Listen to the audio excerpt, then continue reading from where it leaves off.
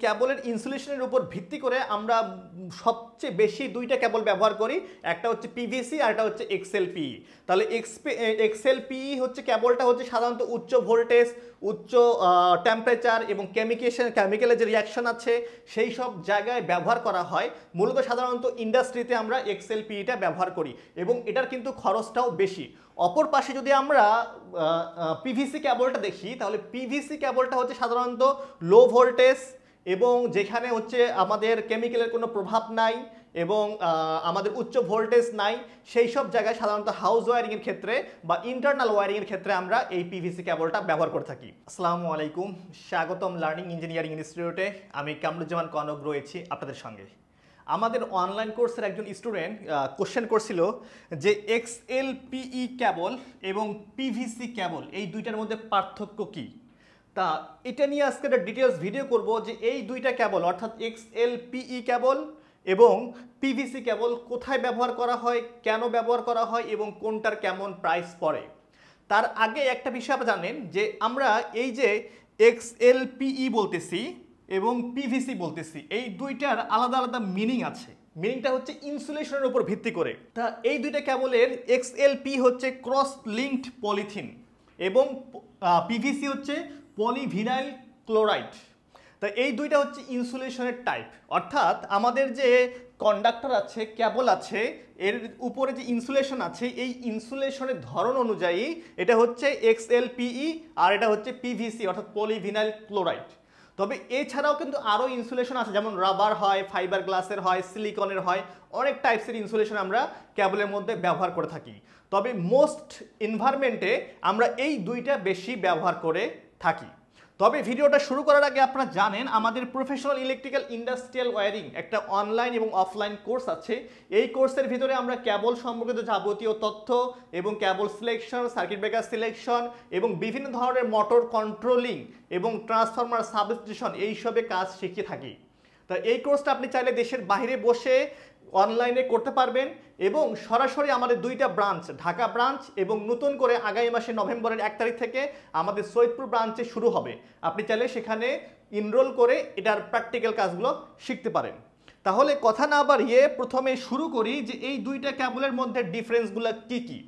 প্রথমত আমরা জানলাম যে এই দুইটার ডেফিনেশন অর্থাৎ এক্সএলপি হচ্ছে ক্রস লিঙ্কড পলিথিন অর্থাৎ এটা ইনসুলেশনের টাইপ যেটাকে আমরা বলি প্লাস্টিকের একটা টাইপ এবং আরেকটা হচ্ছে পিভিসি হচ্ছে পলিভিনাইল ক্লোরাইড এটা ইনসুলেশনটা তো এই দুইটা ইনসুলেশন আছে এবং এর গঠনগত যদি আমরা দেখি, এখানে যে এক্সএল পি যে কেবলটা আছে, এই কেবলটা আমাদের উচ্চ তাপমাত্রা এবং উচ্চ বিদ্যুৎ, অর্থাৎ হাই ভোল্টেজের বিদ্যুৎ লাইনে আমাদের সহ্য করতে পারে। অর্থাৎ এই ইনসুলেশনটা উচ্চ তাপমাত্রা এবং উচ্চ ভোল্টেজকে সহ্য করতে পারে এবং পিভিসি এটা হচ্ছে সাধারণ সাধারণ পলিমার, অর্থাৎ প্লাস্টিক জাতীয় পদার্থ, যেটা হচ্ছে আমরা পলিভিনাল ক্লোরাইড বলি। এটা হচ্ছে আমাদের নিম্ন ভোল্টেজ এবং তুলনামূলক সস্তা এবং সহজে পাওয়া যায়। এছাড়াও যদি এর আমরা তাপমাত্রা সহ্য করার ক্ষমতা দেখি, তাহলে আমাদের এক্সেল পিই হচ্ছে নব্বই ডিগ্রি সেলসিয়াস টেম্পারেচার পর্যন্ত সহ্য করতে পারে।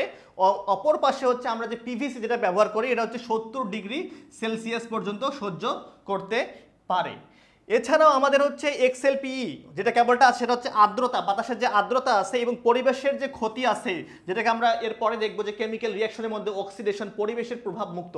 কারণ পরিবেশে বেশি ক্ষতি করতে পারে না এই কেবলের কিন্তু আমাদের পিভিসি যে কেবলটা আছে, এই কেবলটা ওর থেকে কার্যকারিতা কম এবং পরিবেশের প্রভাব এর মধ্যে বিদ্যমান।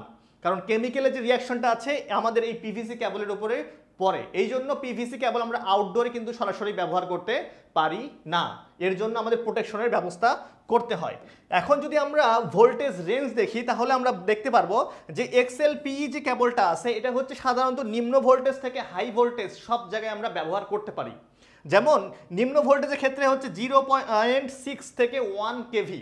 অর্থাৎ আপনাদের হচ্ছে ছয়শো ভোল্ট থেকে নিয়ে শুরু করে এক হাজার ভোল্ট পর্যন্ত নিম্ন ভোল্টেজে ব্যবহার করা যায়।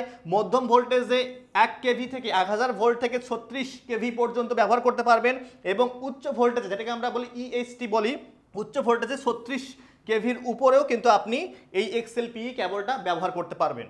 কিন্তু পিভিসি ক্যাবলটা কিন্তু সব ভোল্টেজে ব্যবহার করতে পারবেন না। এটা সাধারণত আমরা নিম্ন ভোল্টেজে ব্যবহার করে থাকি, অর্থাৎ জিরো পয়েন্ট সিক্স থেকে এক কেভি ভোল্টেজে আমরা ব্যবহার করে থাকি এবং মধ্যম ভোল্টেজে সাধারণত ইলেভেন কেভি পর্যন্ত আমরা ব্যবহার করতে পারি।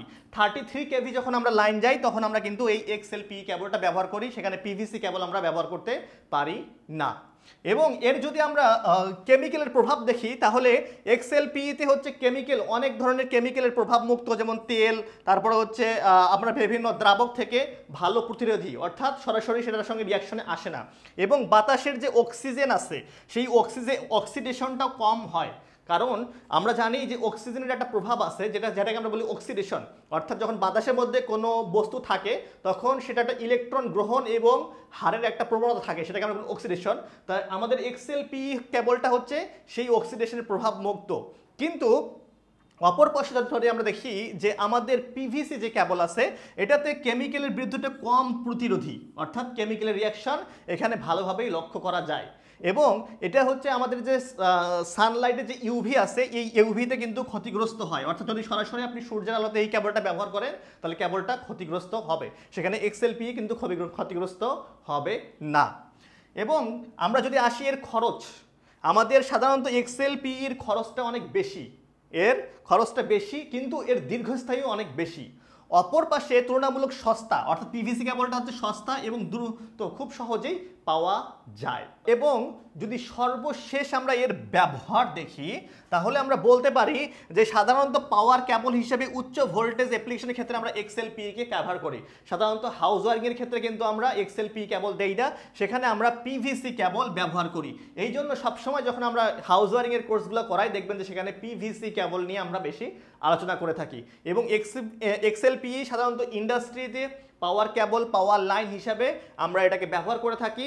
থার্টি সিক্স কেভির উপরেও লাইনগুলোতেও আমরা এক্সএলপি কেবল ব্যবহার করতে পারি। তাহলে এই ভিডিও থেকে আমরা বুঝতে পারলাম যে ক্যাবলের ইনসুলেশনের উপর ভিত্তি করে আমরা সবচেয়ে বেশি দুইটা কেবল ব্যবহার করি, একটা হচ্ছে পিভিসি আর একটা হচ্ছে এক্সএলপি তাহলে এক্সএলপি হচ্ছে ক্যাবলটা হচ্ছে সাধারণত উচ্চ ভোল্টেজ, উচ্চ টেম্পারেচার এবং কেমিকেশন কেমিক্যালের যে রিয়াকশন আছে, সেই সব জায়গায় ব্যবহার করা হয়। মূলত সাধারণত ইন্ডাস্ট্রিতে আমরা এক্সএলপিটা ব্যবহার করি এবং এটার কিন্তু খরচটাও বেশি। অপর পাশে যদি আমরা পিভিসি ক্যাবলটা দেখি তাহলে পিভিসি ক্যাবলটা হচ্ছে সাধারণত লো ভোল্টেজ এবং যেখানে হচ্ছে আমাদের কেমিক্যালের কোনো প্রভাব নাই এবং আমাদের উচ্চ ভোল্টেজ নাই, সেই সব জায়গায় সাধারণত হাউস ওয়ারিংয়ের ক্ষেত্রে বা ইন্টারনাল ওয়ারিংয়ের ক্ষেত্রে আমরা এই পিভিসি কেবলটা ব্যবহার করে থাকি।